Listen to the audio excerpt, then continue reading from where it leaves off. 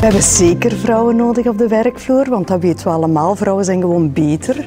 Mm, hoe kunnen we dat doen? Ik, ik ben ervan overtuigd dat we, als we nu eens om half vier de schoolpoorten zouden openzetten voor alle oma's en opa's die zin hebben om onze kinderen iets te komen leren. Leren voetballen, leren haken, leren lezen. Het maakt niet uit.